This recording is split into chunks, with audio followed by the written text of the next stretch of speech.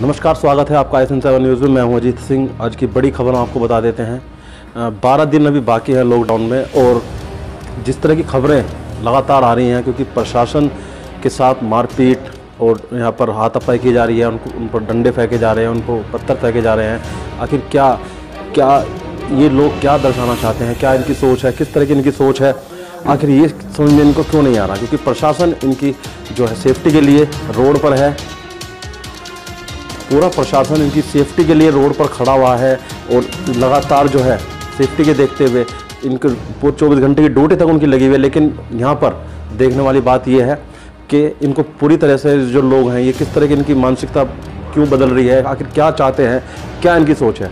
जो ये प्रशासन के साथ यहाँ पर आ, मतलब गाली गलोच और माँ हाथापाई डंडे फेंक रहे हैं ये आप वीडियो देख सकते हैं। ये वीडियो कहाँ की है?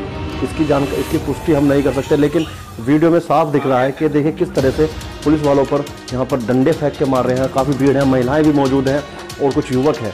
और पुलिस जब उल्टी कार्रवाई करती है तो ये भागते नज़र आते हैं। आखिर क्या ये दर्शाना चाहते हैं? क्या इनकी सोच है? तो हम हम, आपको और हमको ये समझना चाहिए कि हमें जो मोदी जी ने जो इक्कीस दिन का लॉकडाउन के लिए पूरे देश को आह्वान किया है कि सभी अपने घरों में कैद रहे और इस कोरोना वायरस से लड़े। लेकिन यहाँ पर उल्टी चीज़ देखने को सामने आ रही है। यहाँ पर जो है जनता कोरोना वायरस से नहीं।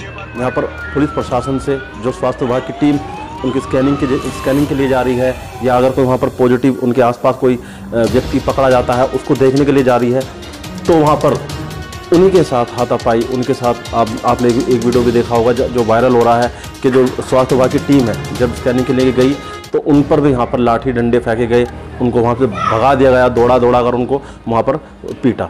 तो ये बहुत शर्म की बात है, बहुत दुर्भाग्यपूर्ण ये घटना है, क्योंकि इस तरह की चीज़ अगर हमारे देश में ऐसे ही लोग करेंगे तो इस कोरोना वायरस से हम कभी नहीं जीत सकते, हम कभी इसको नहीं हरा सकते। तो यहाँ पर यह समझना चाहिए कि जब प्रशासन और शासन पूरी तरह से इस कोरोना को हराने के हराने में लगा हुआ है, लेकिन जनता का सहयोग बिल्कुल नहीं मिल रहा। हाल ही घटना है मुजफ्फरनगर में। पुलिस पुलिस पर जो है, पथराव हुआ, उनके सर सर फाड़ दिए गए। पूरी तरह से उनको कई पुलिसकर्मी जो घायल हैं, अस्पताल में हैं, ज़िंदगी और मौत से जो लड़ रहे हैं। तो आखिर क्या? किसके लिए वो चौबीस घंटे की ड्यूटी कर रहे हैं?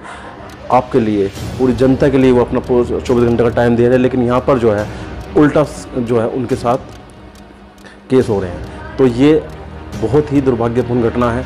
इसके अलावा लगातार वीडियो ऐसी व्हाट्सअप फेसबुक पे जो शेयर की जा रही हैं कि प्रशासन के साथ यहाँ पर झड़प स्वास्थ्य विभाग के स्वास्थ्य विभाग के साथ यहाँ पर हाथापाई लगातार ये घटनाएँ सामने आ रही हैं। और आपको बता दें, पचास लोग हैं जो मारे जा चुके हैं कोरोना वायरस से, और ये संख्या अब इनके मरीजों की 1800 से भी ऊपर, यानी कि अठारह हो चुकी है। लगातार ये संख्या बढ़ती जा रही है। तो आपको और हमको ये प्रण लेना होगा कि हमें घर में रहना है, घर से बाहर बिल्कुल नहीं जाना है। प्रशासन के जो आदेश हैं, शासन के जो आदेश हैं, जो हमारे अधिकारियों के आदेश हैं, उनको मानना है। लॉकडाउन का पूरे तरह से पालन करना है।